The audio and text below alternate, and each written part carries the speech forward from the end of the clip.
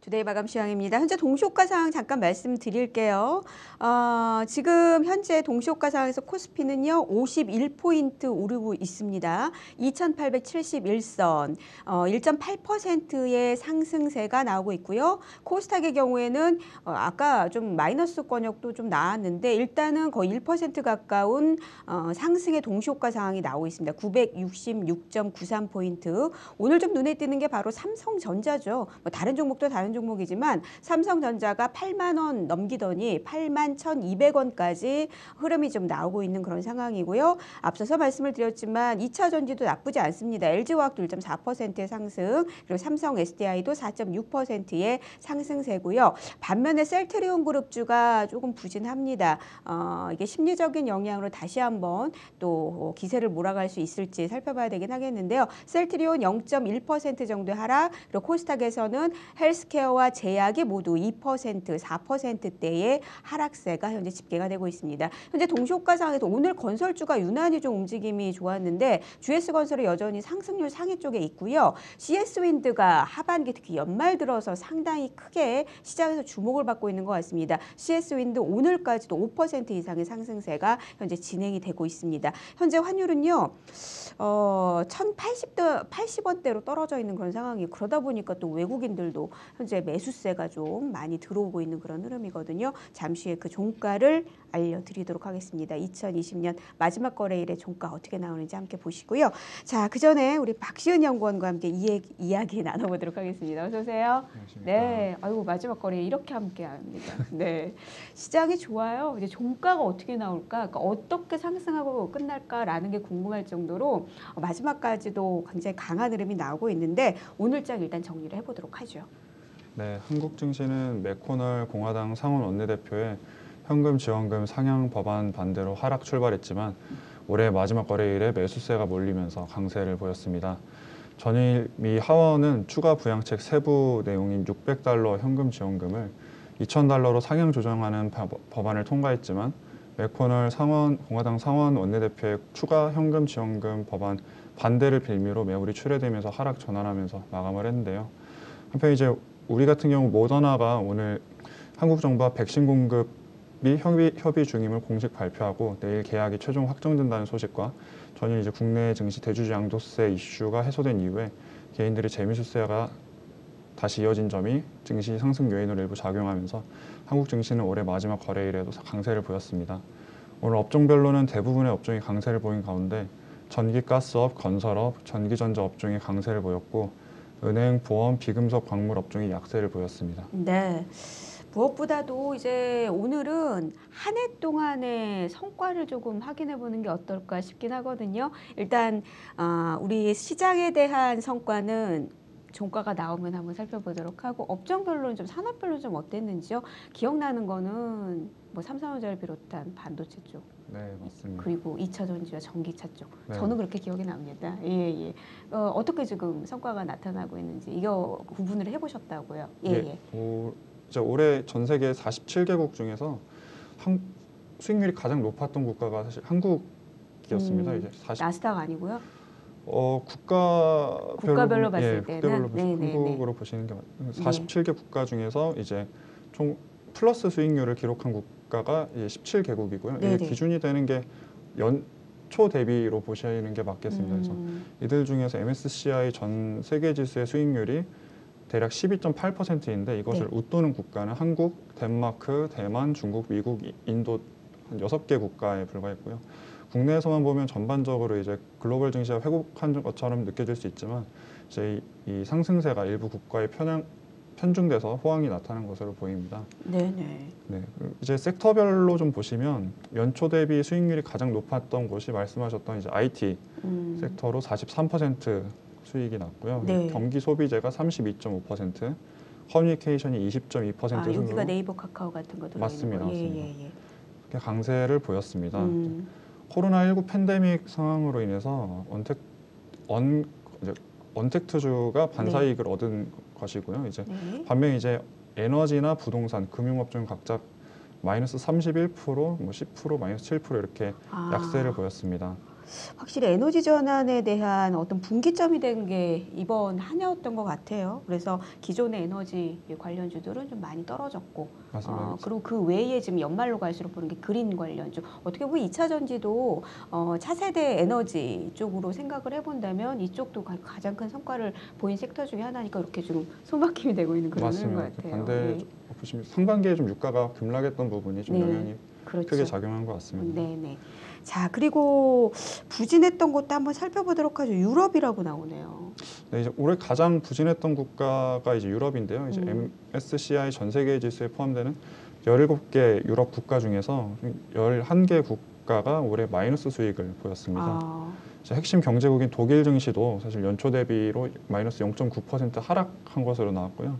유럽 내 이제 코로나19가 크게 확산됐다는 점과 브렉시트와 관련된 불확실성이 어, 부정적인 영향을 준 것으로 판단이 됩니다. 음, 다만 이제 백신 개발 소식 이후에 유럽 증시가 다시 강한 반전을 보이고 있어서 앞으로의 성과가 기대되는 상황인데요. 이제 10월 말 이후에 MSCI 유로존 지수의 수익률이 24.4%로 이제 전 세계 증시 평균인 15.7%를 크게 웃돌고 있는 상황입니다. 최근에는 이제 기존의 유럽 접배 밸류에이션 저평가 요인이었던 브렉시트와 관련된 불확실성이 좀 해소되면서 네. discount 요인이 지금 해소되는 그런 구간으로 보여지고 있습니다. 예. 어떻게 보면 올해의 가장 큰 핵심적인 용어 중에 하나 코로나도 있었고 있었는데 경기적인 사회적인 그리고 기업적인 측면에서 얘기가 차별화였거든요. 그리고 이제 양극화라는 얘기. 그러니까 지금 말씀을 들으니까 국가별로 봤을 때 다 오른 건 아니네요, 사실. 그래서 오른 데는 굉장히 세게 올랐고 지금 현재 연으로 봤을 때는 우리가 한 30% 정도 수익률이 난 것으로 집계가 되고 있는데 MSCI 평균이 지금 말씀하신 대로 한 13%가 안 돼요. 그러니까 다른 데는 굉장히 떨어짐이 컸다는 거고 섹터별로도 그랬다는 이야기인데 일단 유럽은 가장 부진했지만 내년도 회복을 좀 기대하는 측면도 있는 것을 얘기를 하고 있군요.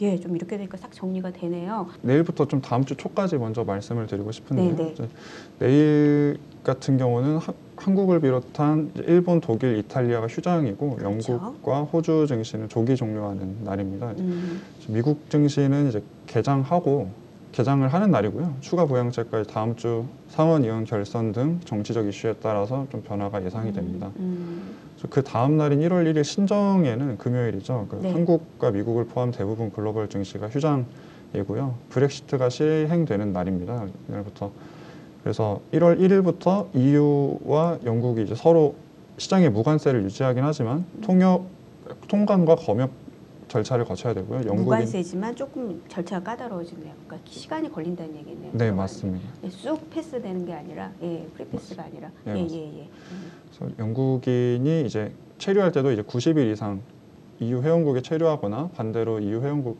국민이 영국에 90일 이상 머무르려면 비자 또한 필요하게 됩니다. 네, 네. 그렇게 이제 주말이 지나가고 이제 그 다음 월요일인 1월 4일에 이제 신년 첫 거래일이 진행이 되는데요. 이제 음, 이날에는 각국 제조업 PMI 지수가 발표가 되고 지난달에 이어서 이 제조업 PMI 지수가 회복세를 이어가는지 좀 보시면 좋을 것 같습니다. 다음 그 주에는 이제 또한 이제 FOMC 어, 어, 연준 의원들의 어, 발언들 발언들이 예, 많습니다. 그래서 네. 월요일에만 어, 에반스, 보스틱, 웨스터 연은 총재들의 발언이 로 인해서 미국 증시가 영향 음, 받을 것 같습니다. 통화 정책 관련된 얘기가 나오네요. 예, 맞습니다. 예, 예. 이- 이날 이제 사실 첫 거래이잖아요. 그래서 네. 어, 한국 증시 같은 경우에는 역사적으로 시가가 좀 높게 형성이 되는 경향이 있었습니다. 그래서 네. 보면 어, 높게 출발을 해서 이제 장중에 좀 밀려서 종가가 시가보다 낮게 형성이 음. 되는 그런 경향을 보이고 있는데요. 이제 특히 개인 투자자분들의 비중이 높은 코스닥 같은 경우에는 10년 연속으로 과거 10년 연속으로 시가가 상승 출발을 해왔습니다. 음, 음. 그래서 시가가 한 5년 평균으로는 약 0.6%고 10년 평균으로 보면 0.7% 상승 출발해서 이제 음. 시가 대비 종가는 하락 마감하는 그런 경향을 네, 보였습니다. 아침에는 기대감으로 푹 올랐다가 일단 여기에 대한 어느 정도의 숨고르기가 있었다. 그러면서 맞습니다. 종가는 좀 시가 대비 밀려서 끝났다. 이렇게 지금 10년 동안의 평균이 나오는 것 같아요. 맞습니다. 예, 알겠습니다. 요거는 고려를 감안을 하겠습니다. 그리고 또 이제 에, 마지막으로 또 하나는 우리가 좀 마무리 봐야 될 게 하나가 있어요. 이제 올해 넘기고 내년까지 이렇게 조지아주 미국 쪽의 결선. 요거 결과가 그때 나오는 건가요? 시작인가요? 다음 주 화요일 날 네. 이제 상원의원 결선 결과가 네. 나올 것 같은데요. 그래서 이때 이제 어 상원 현재 상원이 이제 48대 50으로 이제 공화당이 우위를 좀 보이고 있는데요. 음. 이제 이번 선거에서 민주당이 승리할 경우 50대 50으로 바뀌는 상황입니다. 이제 상원 의- 의장을 부통령이 겸임하기 때문에 이제 해리스 부통령이 캐스팅 보트를 쥐는 효과가 음. 있기 때문인데요. 이제 이게 민주당이 하원과 상원 그리고 대통령 모두를 장악하는 blue wave가 되기 때문에 더욱 의미가 있다고 음, 보여집니다. 50대 50이 되면 예, 맞습니다. 예, 예, 예. 그래서 이제 2008년 때를 보시면 오바마 그때 오바마 어, 전 정부 때와 대통령. 달리 예. 이제 이번 선거 결과는 표 차이가 크지 않기 때문에 대규모 이제 부양책 음. 유입 가능성이 크지는 않지만 않습니다. 그래서 오히려 이제 공화당이 승리할 경우에 의회 마찰이 좀 확대될 수가 있어서 미국발 정치 불확실성이 좀 확대될 수 있지 않나 그렇게 보고 있습니다. 네, 일단 조지아주 상원의원의 결선은 민주당이 좀 더 이제 유리한 입장에 보- 있을 것이다라는 쪽이 현재 시장의 consensus고 공화당이 할 땐 또 이제 이거 어떻게 되는 거지 이렇게 또 얘기가 될 것이라는 말씀이시네요. 예, 그러니까 그렇게 지금 현재 시장의 consensus는 좀 나타나고 있는 것으로 보입니다.